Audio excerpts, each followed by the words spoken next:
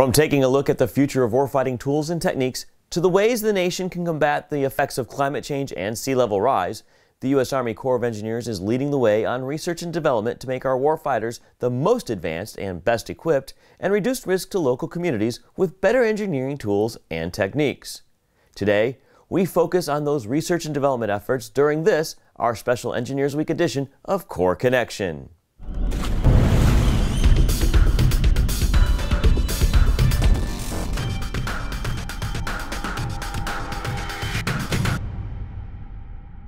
Once again, welcome to this special edition of Corps Connection for Engineers Week. I'm your host, Patrick Bloodgood. The U.S. Army Corps of Engineers, in addition to its divisions and districts that work with regional and local communities, has the Engineering Research and Development Center in Vicksburg, Mississippi, which partners with industry and educational institutions to work on the next generation of technology and techniques our military and engineers will use to solve our nation's toughest problems and dominate on the battlefield. We start this special edition with a look at the research going on into how the U.S. military can quickly repair asphalt, which will help in repairing runways in combat areas.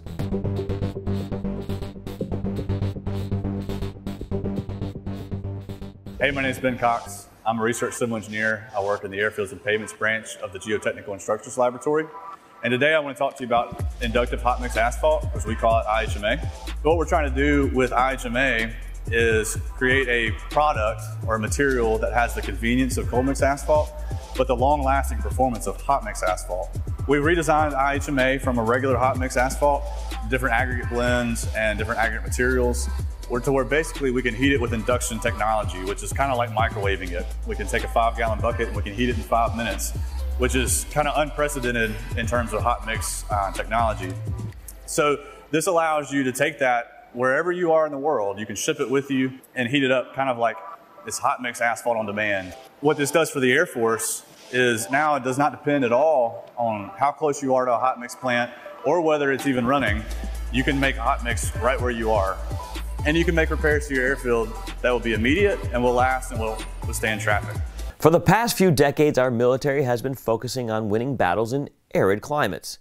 With those conflicts now ended, the focus is shifting to how to win battles in different types of terrain and environments, including frigid ones that can influence both man and machine.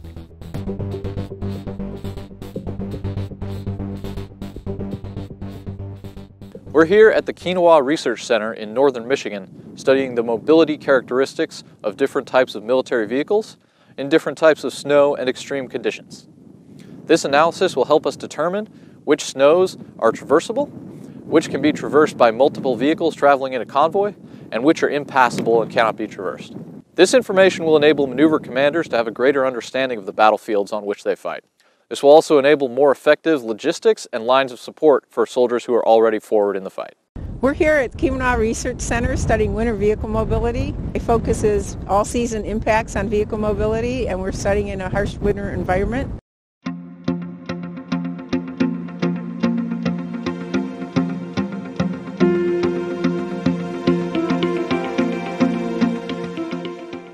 U.S. military has been fighting in the desert for 30 years, but now we have adversaries in northern climates with well-known winter capabilities. So therefore, we're studying mechanisms and processes involved in vehicle mobility over snow and ice and even deep snow to develop models and predictive capabilities for mobility in winter environments. Since ancient times, armies from around the world have been temporarily bridging rivers to move troops, supplies, and equipment. Improved ribbon bridges, used by the Army and Marines, have been around since 2002. Currently, USACE's Engineering Research and Development Center is pushing the bridge system to handle today's heavier equipment.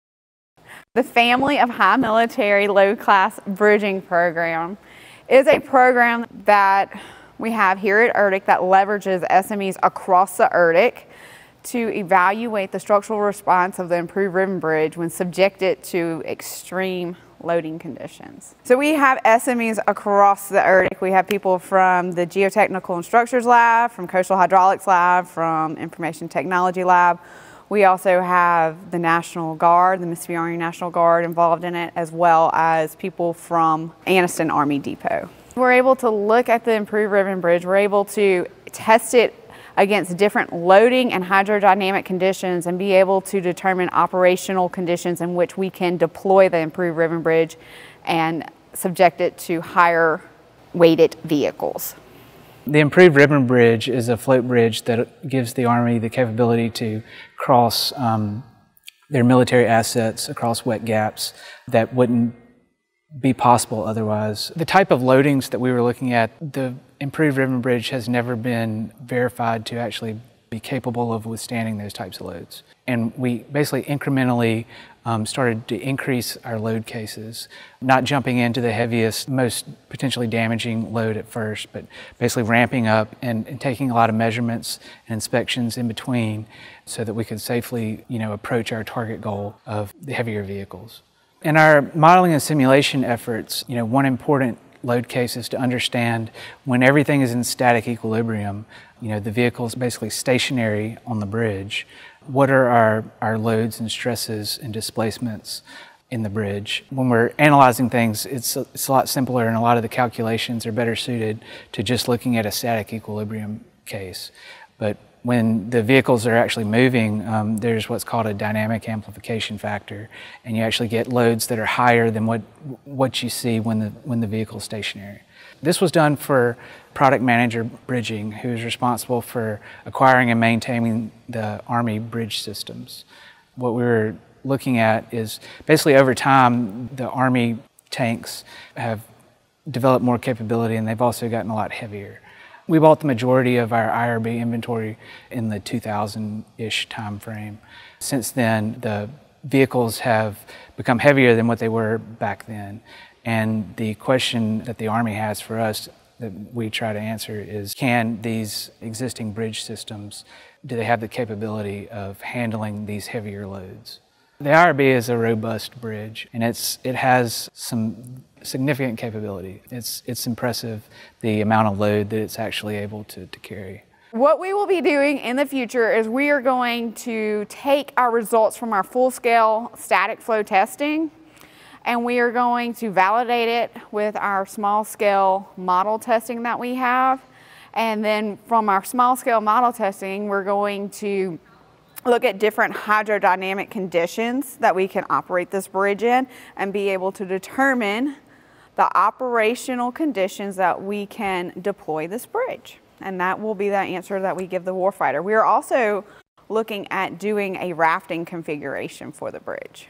In addition to looking at problem sets for our nation's military, USACE is looking at how to make the country more resilient to coastal storms through natural means that are already supplied by Mother Nature.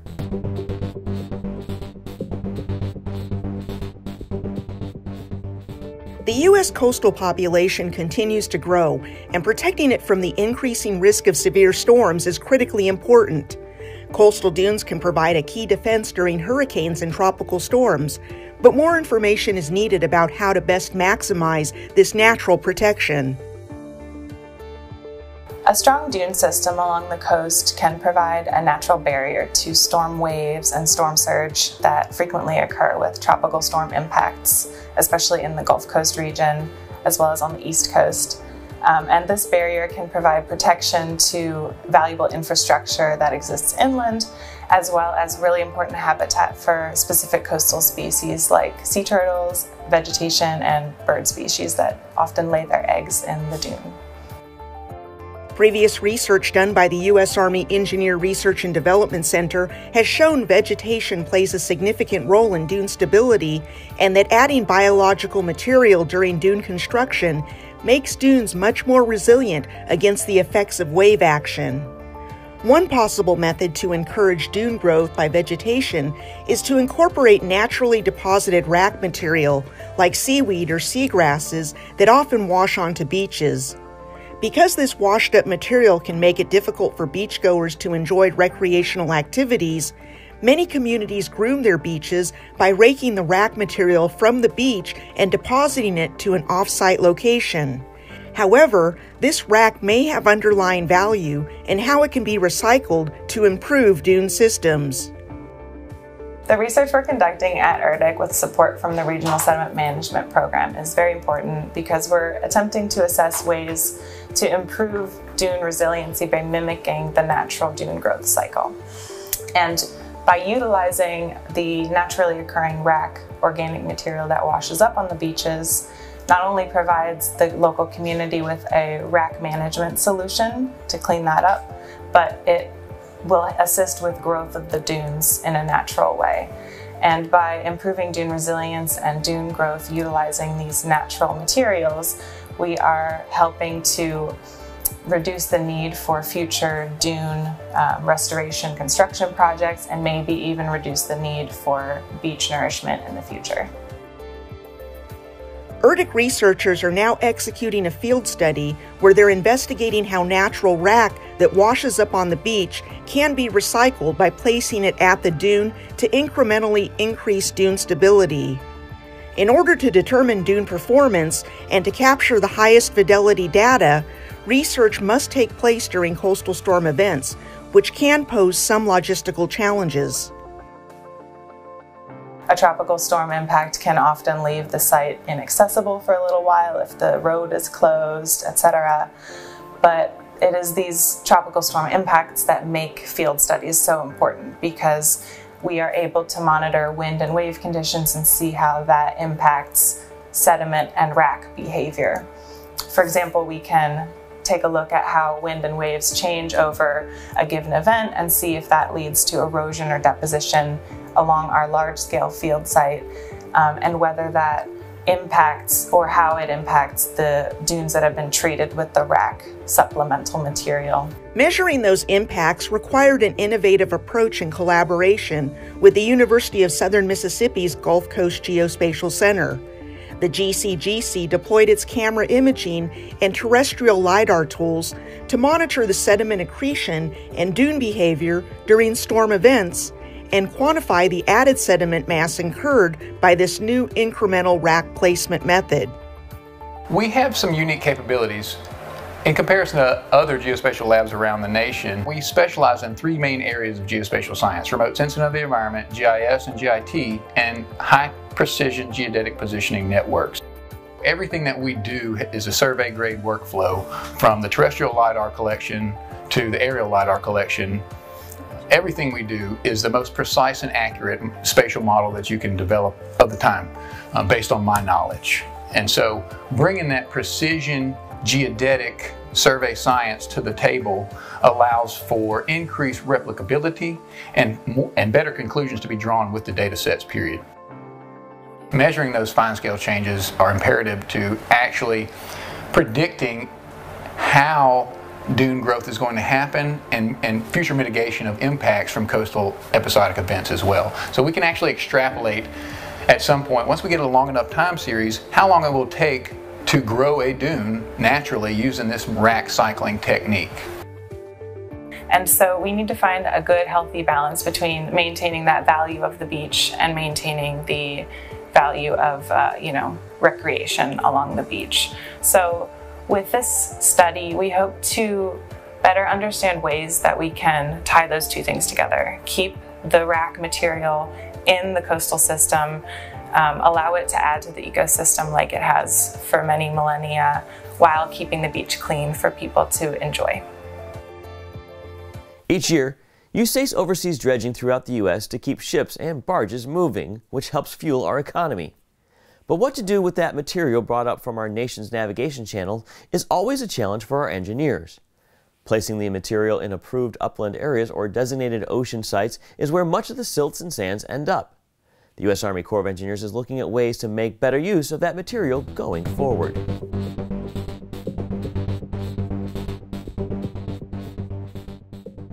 So historically, a lot of when it came to dredge material, uh, the perception was is that this sediment was almost viewed as a contaminant. So the, the focus here is what with beneficial use is that we can keep the sediment within its natural system, uh, understand that it is not necessarily a contaminant, that it can, it's a resource that we can use to increase elevation on our wetlands or low-lying areas, to build natural features, to help better manage our navigation channels, uh, whether that be through berms or whether that be through uh, levees or any sort of uh, natural infrastructure that we can utilize this sediment for as opposed to removing it from the system.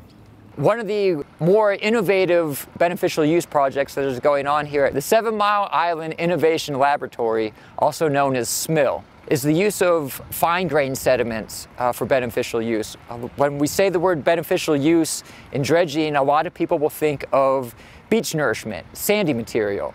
Um, and in a lot of our uh, project areas, fine grained or muddy material isn't adequate for being placed on a beach. We need to find ways to beneficially use muddy material. So with the support of research programs like the Regional Sediment Management Program, the Dredging Operations Environmental Research Program, and the Engineering with Nature Program, uh, the, the work that's being done out here at SMIL uh, will be successful not only now but into the future. The SMIL uh, was actually kicked off a few years ago and there's been several pilot studies and placement studies going on both on the Sturgeon Island and Gull Island here uh, over the last year, year and a half. This is a, a follow-up on that to basically put these platforms out for, for some more long-term monitoring um, and then in the fall, we hope to be out here. Uh, the Philadelphia district is going to be doing some more placement. Um, and so we'll have pre, pre-existing condition data for that and then be able to monitor through placement and, and following. There was a, a nearshore berm of sediment placed and we have a set of platforms that are aimed at uh, evaluating how that's dissipating wave energy and where that sediment might be moving. Additionally, there was uh, some sediment placed in the interior of the wetland. Uh, that was in a thin layer placement configuration, so a thin layer dispersed over a wide area. And that's what our other sediment instrumentation is monitoring. It is looking at how that sediment is mobilized in that system, how much might be retained, and, and what is the ultimate fate of it. Is it mobilized and exported out of the wetland or just redistributed uh, in the vegetated areas? So in this particular environment, the shallowness and the limited access is a real challenge. So we have these narrow tidal creeks that we have limited capability to get equipment and materials in, and that presents another problem, which is just limited time of access. So we have to quickly ferry these materials in, get them constructed, and get out or spend the night on the salt marsh. Best case scenario is the instruments work and they uh, you know, tell us what the sediment is doing. So we don't really have champions here on how it behaves. We're just hoping to learn how the sediment uh, is packaged when it's moving around in the system, and that's going to help us determine better where to place the sediment or what uh, expectations we would have on retaining that dredge material in the wetland. Since the late 1800s, USACE has been using mats to help keep the Missouri River from meandering away from its current riverbank. Originally, USACE used willow trees that were cut, tied together, and sunk using large stones. In the 1920s, the mat sinking unit began using interconnected concrete blocks, which continues today. The mat sinking unit places and removes these river taming devices into the Mississippi River seasonally each year. However, the way these items are being placed is going through a major technological overhaul, bringing the process up to the 21st century, which will make it safer and cheaper to complete.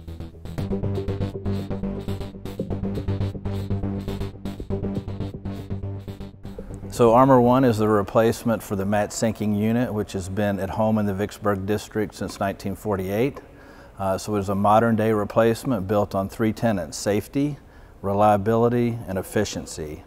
One of the things we wanted to do when we designed this is not just repeat uh, and rebuild what we already had in the 1940s. We wanted to bring it up to date with new designs and also add robotics, safety features, and make it fully compliant with all safety and regulatory uh, uh, issues across the Mississippi River to include the Coast Guard standards. So we've spent the last five or so years partnered with the National Robotics Engineering Center uh, here in Pittsburgh. And that has gone through a process of uh, brainstorming, of conceptual design, of CAD drawings, leading all the way up to a full-scale working prototype. It represents the largest uh, robotic complex that the National Robotics Engineering Center has ever built. Uh, so very successful project, very high visibility project that the Corps of Engineers must have so that we can continue to meet our navigation mission out on the Mississippi River Uh, just like we've been doing since the 1940s, we're going to continue this in the future. So a very key piece of equipment for us. So we saw a demonstration of the robotics over at the National Robotic Engineering Center, uh, part of Carnegie Mellon University. Uh, that very successful demonstration showed us uh, it really showed us how successful that prototype process has been over the last three to four years. So we completed prototyping of the robotics, tested those in September of 2020, and then we saw those test results again today. Some of the things we saw at the National Robotic Engineering Center today were those innovations that we've built into the, uh, the lifting cranes and the mat deck uh, on Armor One. And one of the most obvious ones that you can see uh, out there is how the mat is picked up. It's picked up by the robotics with sensors very carefully raised, angled properly, and then placed on the deck. And this is, to done, this is done to keep from damaging the mat or harming it so we can tie it together easily uh, with the robotics on the deck. Another uh, way that it's innovative out there uh, the mat deck is active, which means that when you put the mat on the deck, it's not just roller sliding it down the slope. There's actually rollers that can move it and adjust it back and forth. And that gives us the alignment we need to make sure the robotics can make the ties. Right now, that's all done by hand. With crowbars and wedges and things like that, it takes a lot of time. Uh, now we can do that automatically. Uh, from here on out, we are building this ship down in Houma, Louisiana at Thoma-Sea. Uh, shipyard. And that will take place over the next year and a half. In December of 2022, we'll take it out on the river. We'll do full up, full trial testing, and then we'll move it to the Vicksburg district for the start of the 2023 mat sinking season. That wraps up this special edition of Corps Connection dedicated to our engineers. Thanks for all that you do on behalf of our nation. Tune in next month as we deliver another regular edition of Corps Connection. Until then, I'm Patrick Bloodgood, and this has been Corps Connection.